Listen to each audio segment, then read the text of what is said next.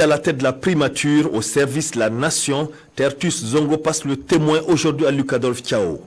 Après avoir rendu hommage aux dirigeants des différents cabinets du Premier ministère pour la disponibilité, l'abnégation au travail, Tertus Zongo les a invités à continuer dans la même perspective pour soutenir et accompagner le Premier ministre entrant qui a de nombreux défis à relever. Je voudrais féliciter son Excellence Eyon Luc Adolphe Tiao pour sa nomination au poste de Premier ministre, chef du gouvernement. Patient, méthodique et grand travailleur, tel que je vous connais, je doute aucunement de vos capacités à assumer dans l'intérêt des Burkinabés cette charge exaltante, mais pleine de symboles et de fierté. En retour, Luc Adolphe Tiao se dit mesurer le défi qui l'attend et raison pour laquelle il insiste sur la valeur du travail comme solution à ce challenge. Je mesure l'immense tâche qui m'attend dans ce contexte particulier. Je puis vous dire que ce n'est pas sans appréhension que j'aborde cette fonction et l'entretien bref que nous avons eu tout à l'heure m'a permis de mesurer l'ampleur, la complexité de la tâche d'un Premier ministre, d'un chef de gouvernement. Les instructions que le président de Faso m'a données, c'est de œuvrer rapidement à ramener la paix sociale au Burkina Faso, notre richesse principale.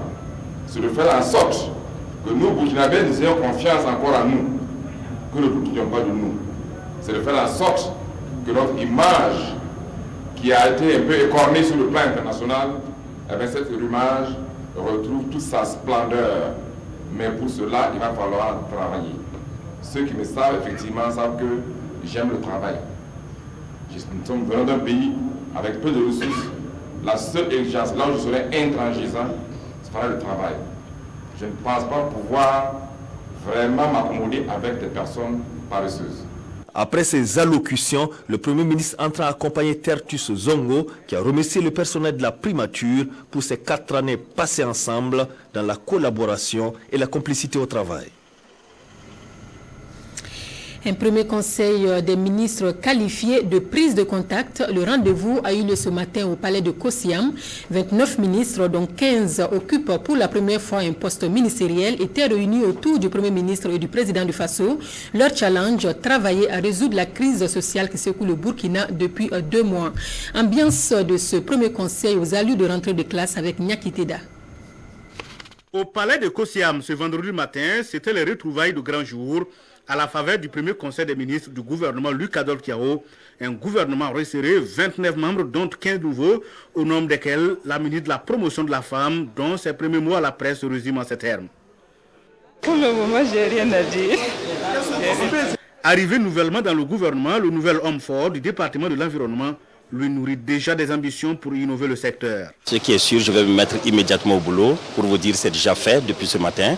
Et on travaille, on essaie de réfléchir, on essaie d'être ambitieux, on essaie de... Euh, pas d'être atypique, mais d'être innovant.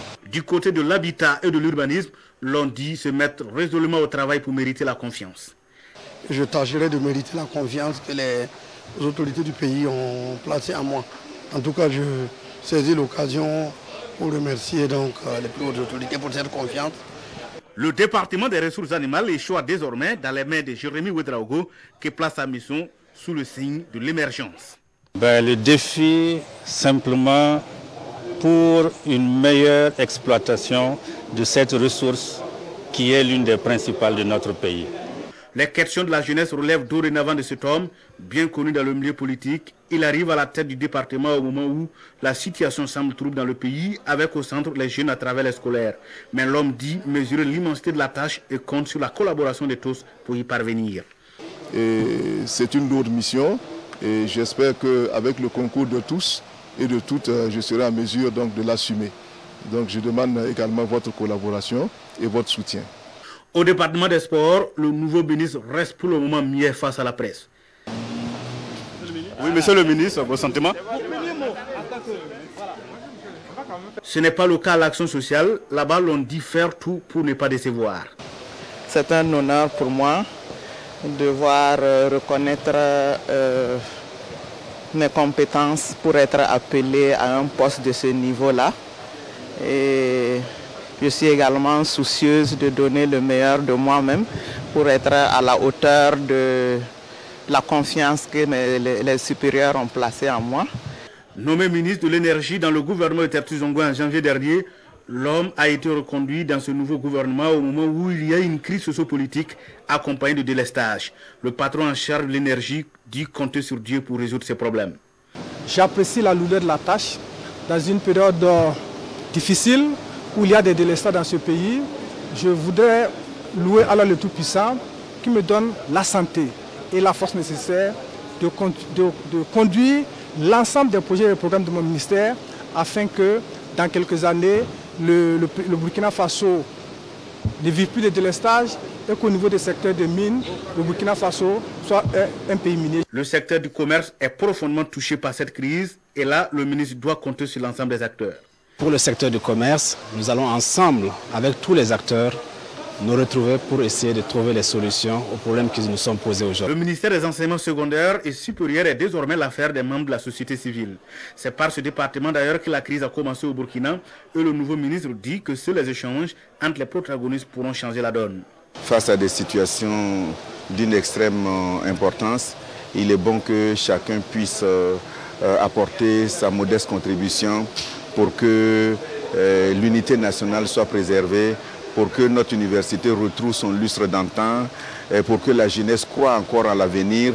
Ça, c'est autant d'éléments que nous allons demander aussi bien du côté des étudiants, du côté des élèves, du côté des enseignants, du côté du personnel ATOS euh, et du côté même des parents d'élèves, de la société en général, que nous puissions nous mobiliser autour de notre enseignement pour permettre au Burkina de pouvoir mettre sur le terrain des hommes de qualité, des femmes de qualité. Jérôme Bougma, en plus de l'administration du territoire et de la décentralisation, s'est vu confier la tâche de la sécurité. Une sécurité mise à rude épreuve avec le bras de fer ces derniers temps entre scolaires et policiers. La première urgence au niveau de la sécurité, c'est rassurer les hommes, ramener la confiance, les remettre au travail. Il y a un certain nombre de réformes, de réorganisations également à effectuer et nous avons reçu des instructions pour euh, mener à bien cette mission-là. Et en ce jour saint, c'est demander des prières, des grâces pour réussir cette lourde mission. La réussite de toutes ces actions dépendra de la communication. Et pour cela, le nouveau ministre de ce département et porte-parole du gouvernement plaidera pour une plus grande communication. Communiquer et communiquer juste.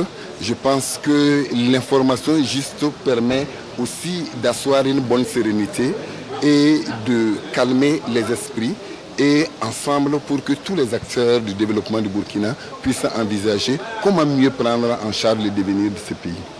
En tout cas, pour un devenir radio du Burkina, le nouveau chef de la diplomatie y croit.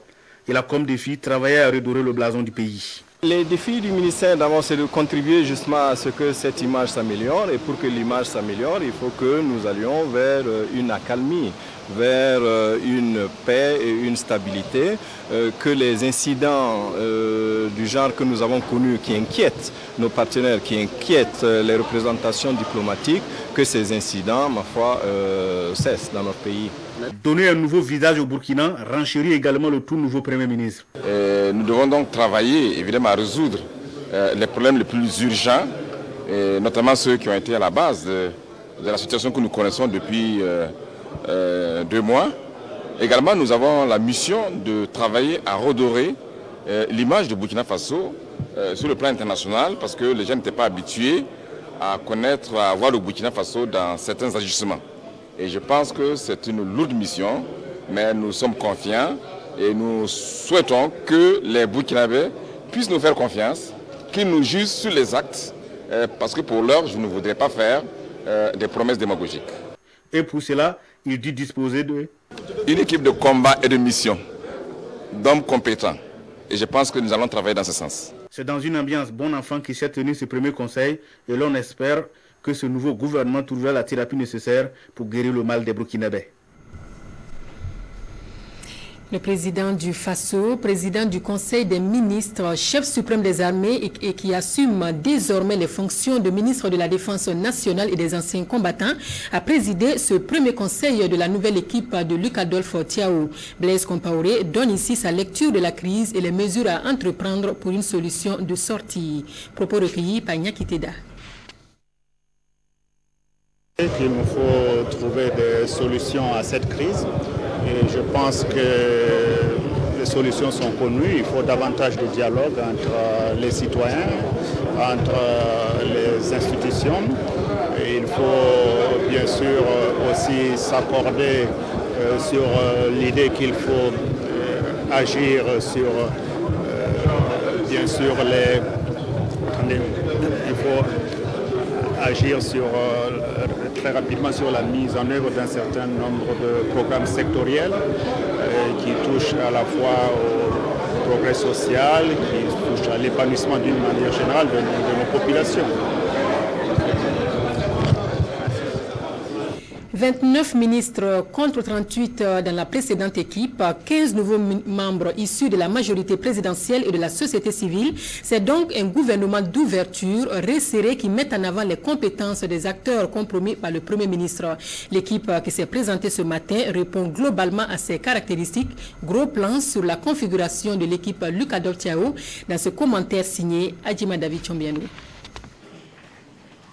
Première caractéristique de ce gouvernement, un profond changement, un renouvellement en profondeur qui traduit une certaine volonté de rupture.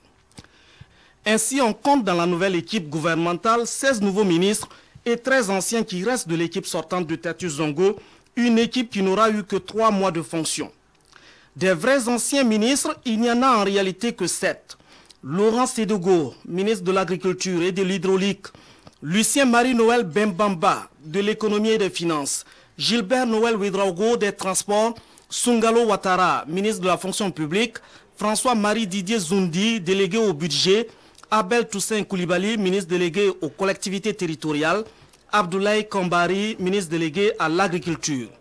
Les ministres anciens qui restent du gouvernement Tertu Zongo de janvier 2011 sont Bognessan Arsène Yé, ministre d'État en charge des réformes politiques, Baba Amma, désormais ministre de la Culture et du Tourisme, Jérôme Bougman de l'administration territoriale, Patende Arthur Kafando, ministre de l'Industrie, du Commerce et de l'Artisanat, Lamoussa Salif Kaboré, ministre de l'Énergie et des Mines, Jérôme Traoré, ministre de la Justice, Nissa Ezaï Konate, ministre de la Recherche et de l'Innovation.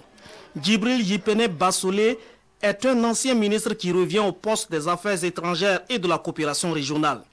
Les tout nouveaux ministres sont professeur Adama Traoré, ministre de la Santé, Achille Tapsoba, ministre en charge de la jeunesse, de la formation professionnelle et de l'emploi, Alain-Édouard Traoré, ministre de la communication, porte-parole du gouvernement, colonel Yacouba Traoré, en charge des sports et des loisirs, Clémence Traoré Sommet, ministre de l'Action sociale, Jean-Bertin Ouedraogo, ministre des Infrastructures et du Désenclavement, Yacouba Bari, ministre de l'Habitat et de l'Urbanisme, Jérémy Ouedraogo, ministre des Ressources animales, professeur Jean Koulidati, ministre de l'Environnement et du Développement durable, Nestorine Sangaré Compaoré, ministre de la Promotion de la Femme, professeur Albert Ouedraogo, ministre des Enseignements secondaires et supérieurs, Kumba Boli Bari, ministre de l'Éducation nationale et de l'alphabétisation, Zakaria Tiemtouré, ministre délégué en charge de l'alphabétisation, Vincent Zakane, ministre délégué chargé de la coopération régionale. Le profil des ministres fait du gouvernement une équipe de technocrates, d'experts compétents chacun dans son domaine. Autre caractéristique de l'équipe Tiao, un gouvernement resserré comme l'avait annoncé le Premier ministre. 29 ministres contre 38 dans l'équipe sortante. Des ministères disparaissent. La promotion des droits humains qui revient dans le giron de la justice. Le ministère en charge des relations avec le Parlement confié au ministre d'État en charge des réformes politiques le ministère du Travail et de la Sécurité sociale qui forme désormais avec le département de la fonction publique une seule entité, mariage également entre le ministère des Transports, des Postes et de l'économie numérique sous la direction de Maître Gilbert Noël Ouidraogo. De même, le ministère de la Sécurité et le ministère de l'Administration font désormais cause commune sous l'autorité d'un même ministre, Jérôme Bourma. Effet notable de cette équipe du Premier ministre Tiao, le président du FASO, président du Conseil des ministres, chef suprême des armées, va gérer de près les questions militaires en qualité de ministre de la Défense et des anciens combattants. Promesse tenue donc par le